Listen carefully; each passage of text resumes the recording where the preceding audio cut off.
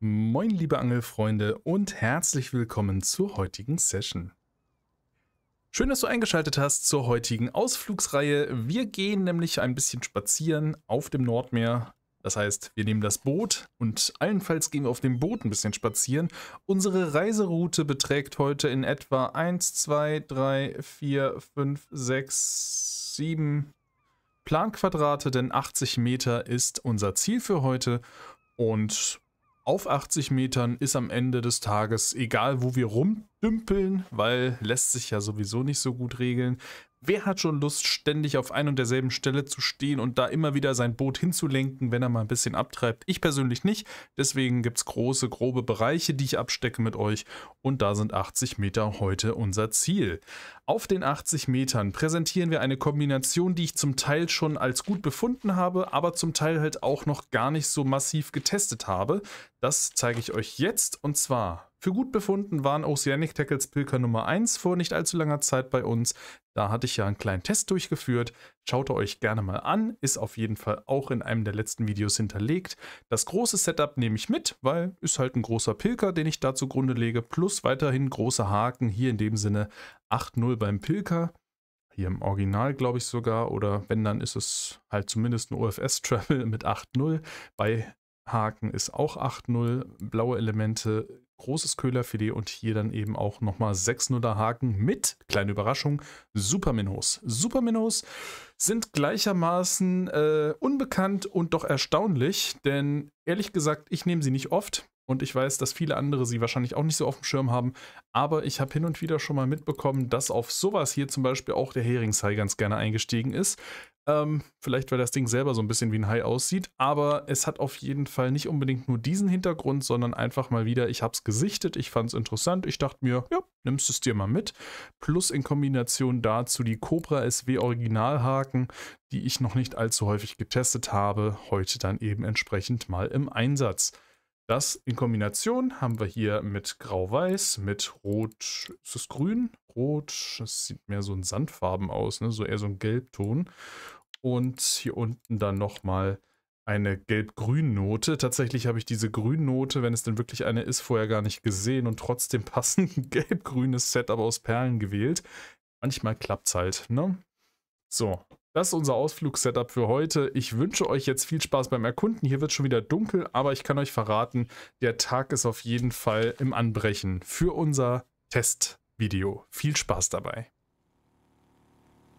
Dann hoffe ich mal, dass besonders große auf die 6-0er Haken einsteigen. Bis 6-0 gehen die, also ich nutze das, nehme das Maximum raus. Das sieht einfach aus wie ein Haifisch hier mit, mit blutverschmiertem Maul. so Leute, stürzen wir uns rein, würde ich sagen. Ich sehe da einiges im Mittelwasser schwimmen. Das könnte uns möglicherweise einige Superminus kosten, wenn da häufiger jetzt der Köhler rangeht.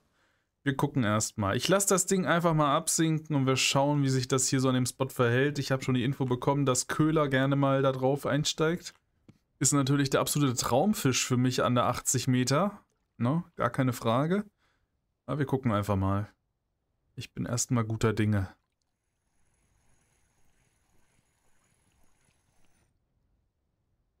Oh, ein Seewolf mit 4 Kilo. Einstieg auf Super Minnow. Sehr gut, das geht in die richtige Richtung. Das geht in die richtige Richtung. Fängt gut an auf jeden Fall. So.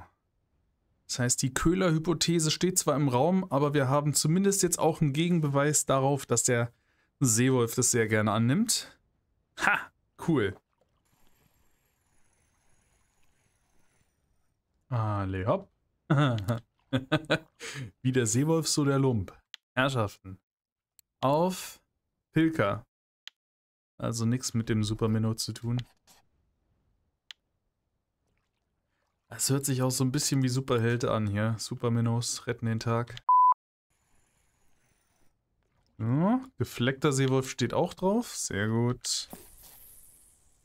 Ja, ist eine schöne bunte Sammlung auf jeden Fall an Sachen, die da drauf gehen. Und der ist auch auf den Super Minnow gegangen, Leute. Das möchte ich kurz nochmal klar hervorstellen. Das ist super. Wortwörtlich.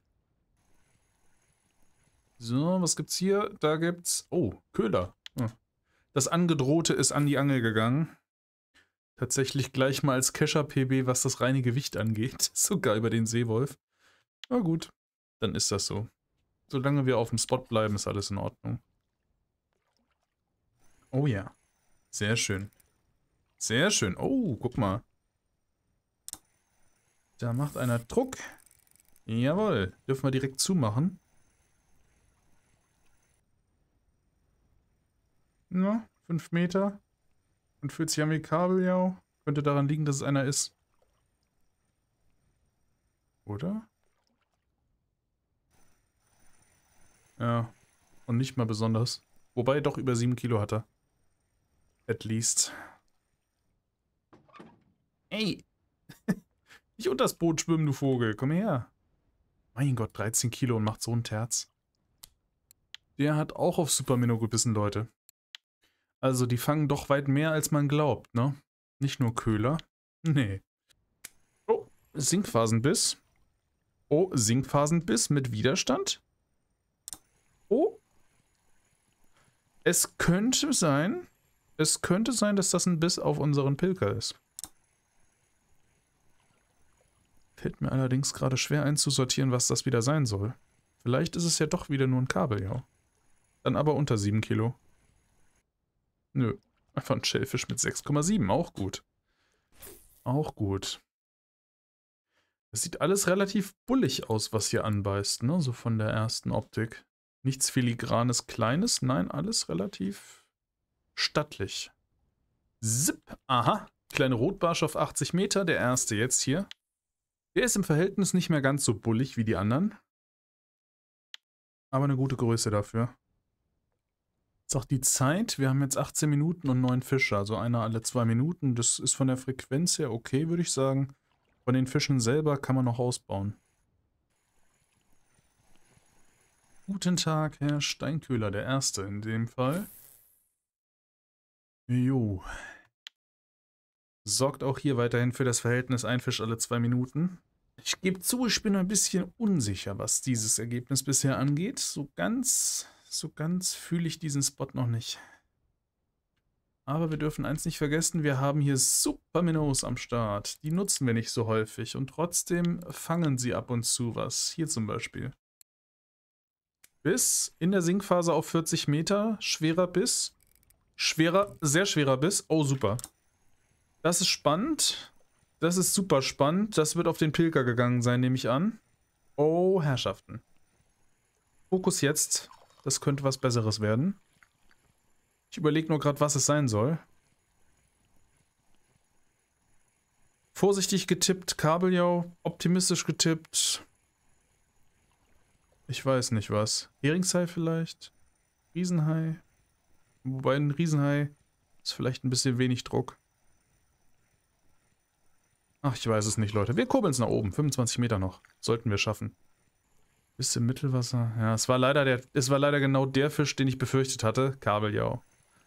Na gut. Aber sieht nicht so schlecht aus. 19 Kilo nehmen wir. Schade, schade, schade. Wirklich. Ich hatte gedacht, dass wir da was anderes haben. Ein Kescher soll sich ja normalerweise immer so ein bisschen auf speziellen Sonderfischen äh, stabilisieren und die habe ich momentan noch nicht so ganz. Gut, ich meine, wir haben zwei schöne stattliche Kabeljauer, aber die bringen nur einen Bruchteil leider ein.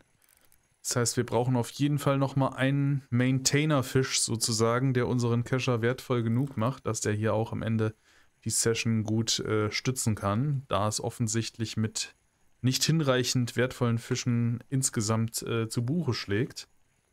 Das heißt, wir brauchen die B-Option, diesen Special One irgendwo dazwischen, aber wir haben ja noch ein bisschen Zeit. Hey. Oh!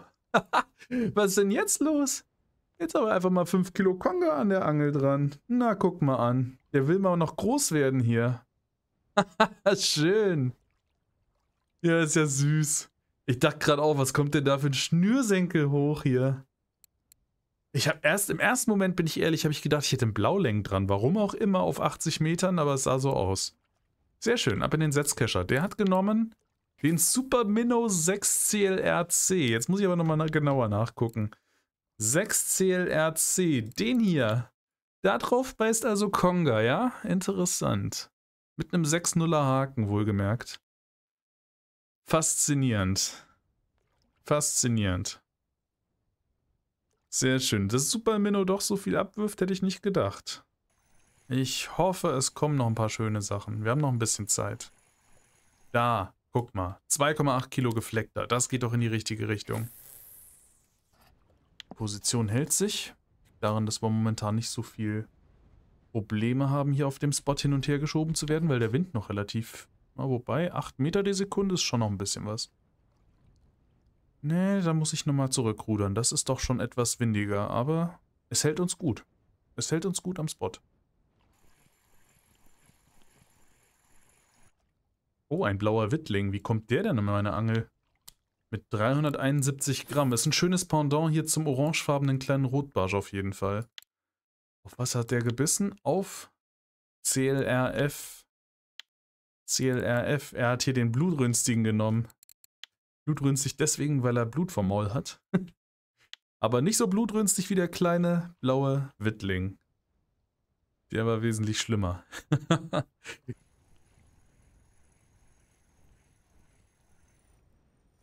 So, guck mal hier. Seewolf mit 4,7. Das ist die richtige Herangehensweise. Da kommen wir vorwärts. Das ist jetzt der dritte, ne? Und wir haben eine konstante Steigerung hier. Fast, um, fast immer um das Doppelte. Also das nächste ist so 8, 9 Kilo, wenn es geht. Das lohnt dann auch im Verkauf schon mal ein bisschen. Restzeit sind 14 Minuten für eine volle Stunde. Ich denke, das sollte mit dem Setup erstmal dann genügen. Der erste Tiefenrotbarsch, auch nicht schlecht. Ist ein bisschen klein, aber hat einen Haken. Soweit so gut, würde ich sagen. Ui, 800 Gramm Wittling. Schön. Der erste im Moment. Noch sieben Minuten und wir sehen einfach die Vielfalt an dem Spot, also 80 Meter, ne? Mit vielen verschiedenen Ködern durchaus wieder mal sehr bunt aufgefächert. Sehr schön. Achso, die, die, der Köder. Hilka. Hm. Ein Wittling lässt sich nicht von sowas Banalem wie einem Superminnow ins Boxhorn jagen. Der nimmt sich direkt das Größte. Hängt ja auch das große Filet vom Köhler dran, ne? Ist ja klar, dass da der Wittling wieder draufgehen muss. Dieser Suchtling. Ui, Kalmar. Das ist ja erstaunlich. Auf Superminnow. Jetzt wird's langsam abgedreht hier. Jetzt wird es langsam echt abgespaced auf 80 Metern.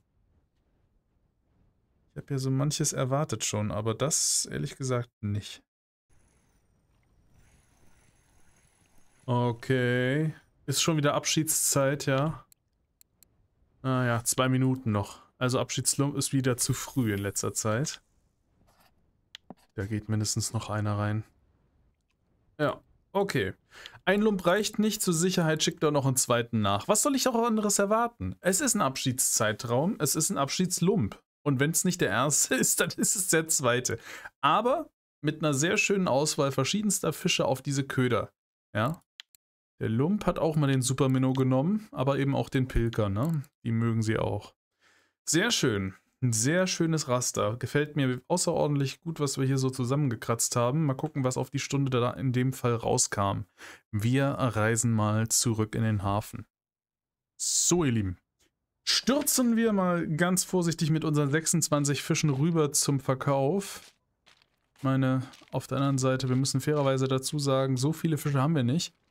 Dass da was im Café ist, was passen könnte, halte ich erstmal für schwierig. Wir gucken uns stattdessen erstmal hier von Kippenkala an. Die Trophy Heilwood ist auch ein geiler Name, ey. das ist sehr stark. Ja, aber die Trophy Heilwood hängt hier oft im Hafen, ne? Das stellt man schon fest. Kaffee sagt, wir haben tatsächlich Seewolf und wir haben ihn auch passend mit 84. Ich denke, das werden wir nicht toppen. So, was haben wir noch? Ich glaube, das war's. Einen Schellfisch könnten wir anbieten. Den Steinköhler haben wir nicht. Nö, das war's erstmal. Das heißt, hier nehmen wir dann also schon mal 84 Silber mit aus dem Kaffeeauftrag. Das ist schön. Jetzt gucken wir mal. So, Preise. Die Lage der Preise. Erstaunlicher Preis für den Konga mit 5 Kilo 50 Silber ist trotz der kleinen Größe sehr satt. Genauso hier für 53 Silber für den gefleckten Seewolf. Also der Seewolf steckt in dem Fall im Größenverhältnis selbst den Konga locker in die Tasche. Sehr beachtlich, aber gut, die nehmen ihm auch ganz unterschiedliche Größenpotenziale am Ende ein. Trotzdem mal interessant, das hier zu sehen. Dann haben wir Kabeljau zweimal. Hier liegen wir 6 Kilo dazwischen und das macht einen Unterschied von 16 Silber. Durchaus schon mal ein bisschen was, ja. Auf jeden Fall schön, sie zu haben. Hier mit 2 Kilo der Seewolf 32 Silber. Auch noch über dem Wittling mit 800 Gramm. Schellfisch, ja, mühevolle 6 Kilo geangelt und trotzdem leider nur 27 Silber. Es ist also relativ überschaubar heute. 466, ein schemenhaft umrissenes Schnittergebnis, würde ich sagen. Hinzu kommen allerdings ja noch die 84 aus dem Kaffeeauftrag. Dadurch liegen wir dann wieder im, ja, im 500er Bereich. 550 müssten es sein. Also sagen wir mal, es ist auf jeden Fall okay. Ne? Es ist nicht weltbewegend, aber es ist okay dafür, dass ich nicht unbedingt davon ausgegangen bin, dass ich ein köhlerarmes Raster hinkriege mit den ganzen Superminnows. Die haben also durchaus heute überrascht und das positiv.